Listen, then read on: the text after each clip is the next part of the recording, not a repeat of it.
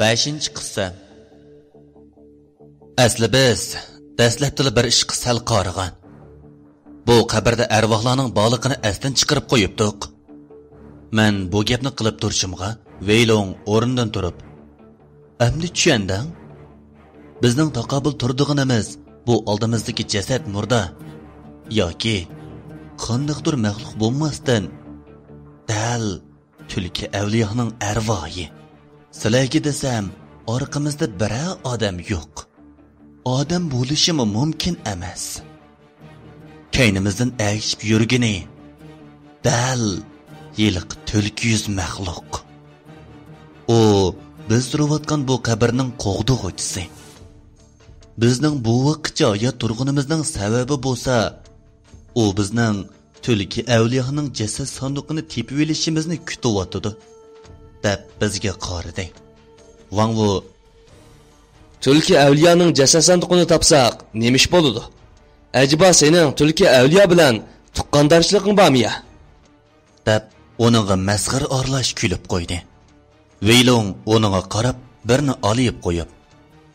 Sen po'xni bilamding sening kallang yo'qmi? Burun bu qabrga tushganlar qandoq o'ldi? Bilmay botamsan dedi. Man hech nimani tushunmadim g'u bu ish bilan ularning nima munosabati? deb so'rdim.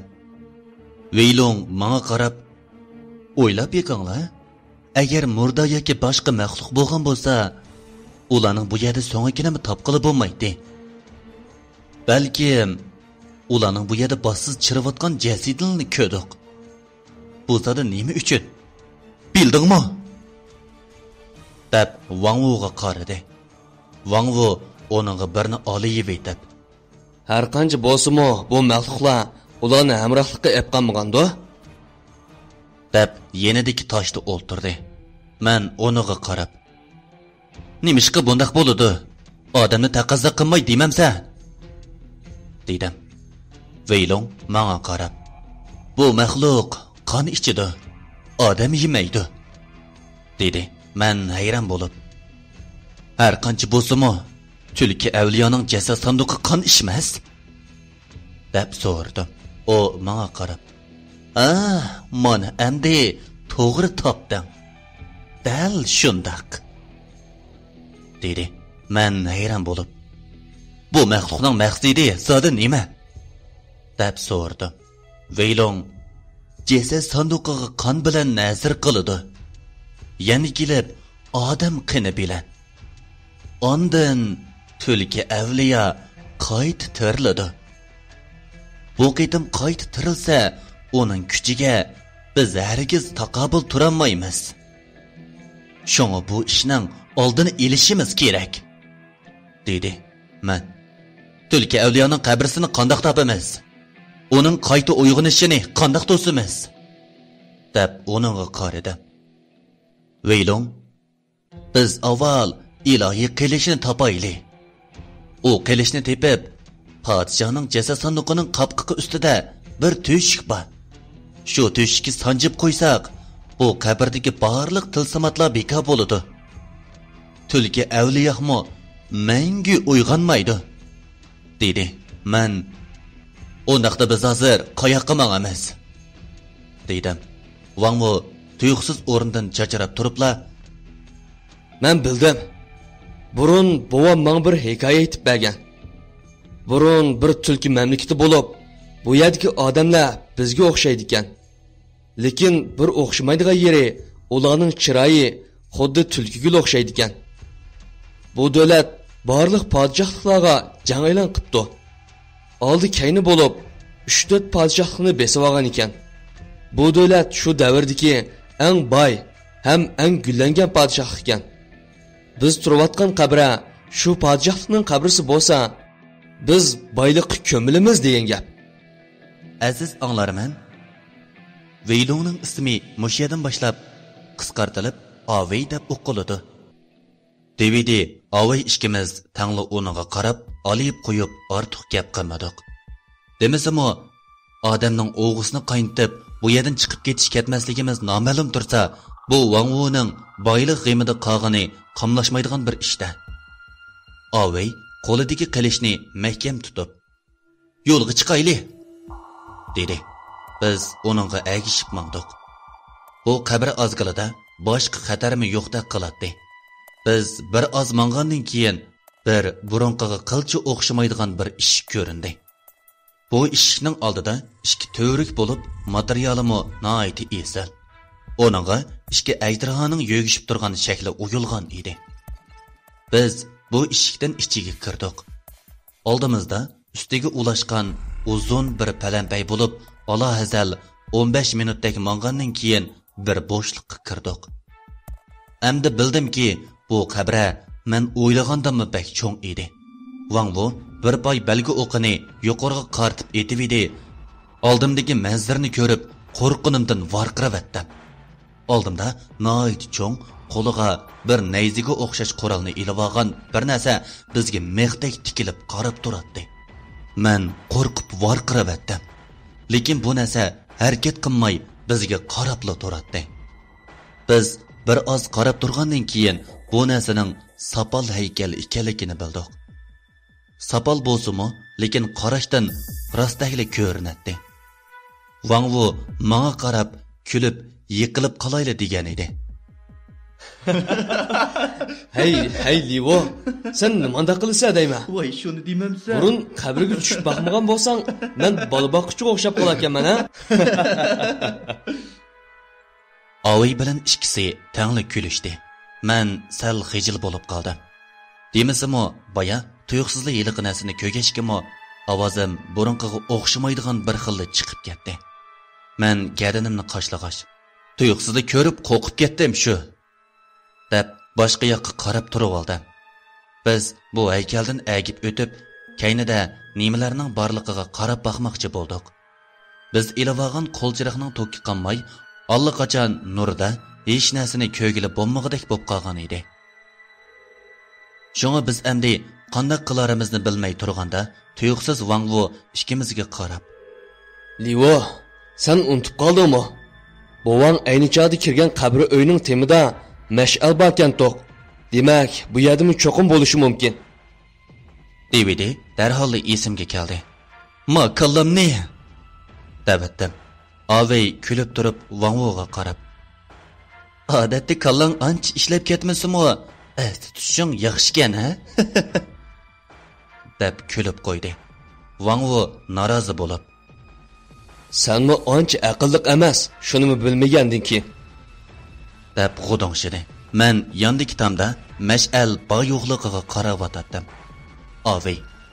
Voy bo'ldi qil. debla bir sakrabla oldimizda turgan haykalning qo'lidagi narsani shartida qilib sug'urib oldi man boya texi bira jang quroli deb qiyos qilgan bu narsa asli mash'al edi mash'aldagi moy qaytib qolgan edi man oviyga qarab ishlatgila bo'landikan cho'ng tipdiki qo'rqinchli asar arvoh soyisi davomlashmoqda Bu asarning to'liq nusxasini anglamoqchi bo'lsangiz, Qalbdoshlar ovoz ishxonamizning xos ovozliq asar supisi bo'lgan Qalbdosh 008 saloni va Azroil salonini qo'shib bilishni unutmag'aysiz. Salon izlash nomeri Qalbdosh 008 Azroil. Devidim Avey qo'liga chaqmog'ini elib o't yoqib O't boshda sal ojizroq ko'ydi. Birdamdan keyin moy erib, kuyishga boshladi. Hamda atrofni xelila yo'rtolidi bu vaqtda atrofga qarab hayron qoldim. Biz turayotgan bu qabr uyi burun ko'rganlarimizga o'xshamaydi. Bu uy to'rt burchaklik uy bo'lib bu qabr uyning cho'ngligi bir futbol maydonida keladi to'rt bo'lingda to'rt dona biz kiribli ko'yganga o'xshash haykal qo'yilgan to'g'risig'imi nurg'un tom rasmlar chizilgan bo'lib o'xshamaydigan yeri bo'lsa biz burun ko'ygan tom rasmlarga o'xshamaydi.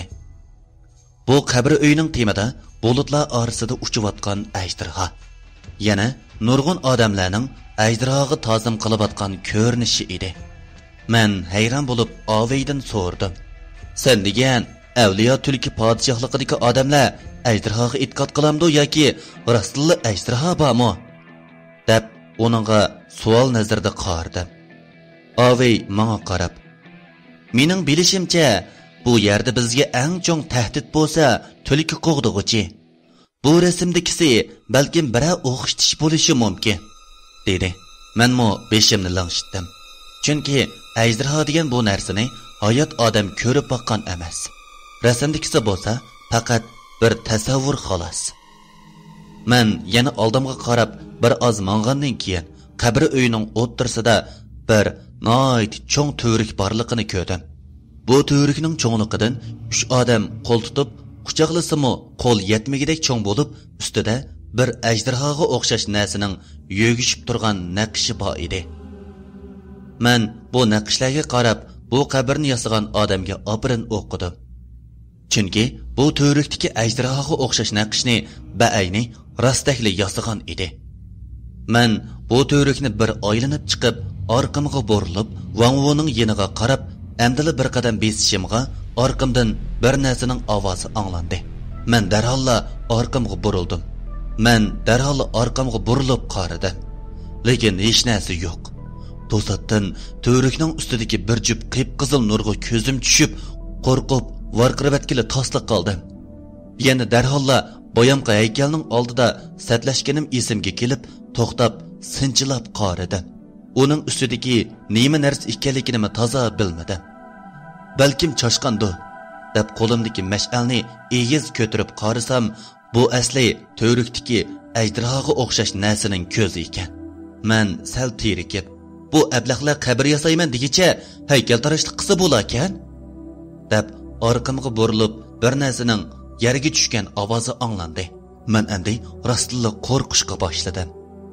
Osta burilib orqamga qaradim kim bilsin orqamda bir jup qip qizil ko'z manga bir metrcha egizlikda yerdan tiklanib qarab turardi bu ko'z man boya ko'rgan to'rikdagi aytirxoning bir jup ko'zi bo'lib ko'ribla qo'lim bo'shab qetib qolgandakla o'rnimdan midirlayanmidi bu vaqtda vangvu u ablah o'lib beray debsa tez qoch! deb varqirdi man sal esimni yig'ib o'zimni eshik tarafga otdim bu chog'da ovey so'mkisidan baligi toponchisini elib bir poy o'qni ustiga qortib otdi. O'q to'risqa tegib to'xtab ko'ydi. Atrof yo'rib ketdi. Bizning ko'ygunimiz bo'lsa noit cho'ng qop qora ikki ko'zi qip qizil bir yilon bo'ldi. Man boya ko'ygan to'riga yo'gishib manga qarab turgan hargizmi haykal emas edi.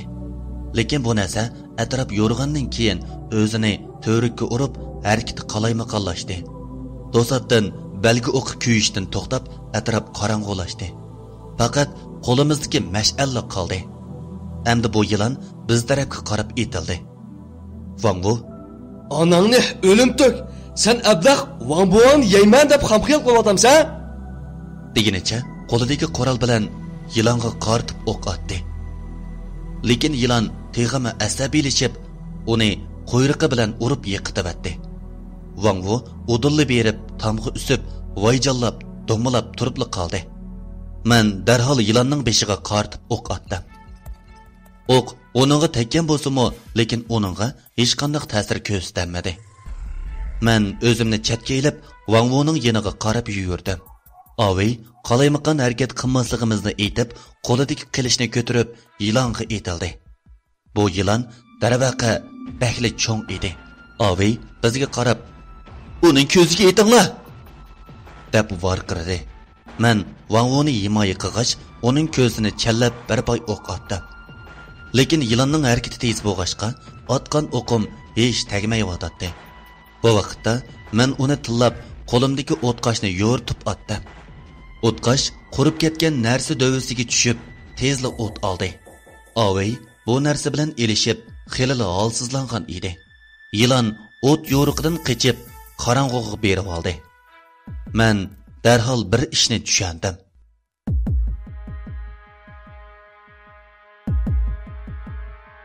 aziz anglag'uvchilar cho'ng tipdagi vahimalik asar arvoh soyisining 5 qismi mush yerda tamomlandi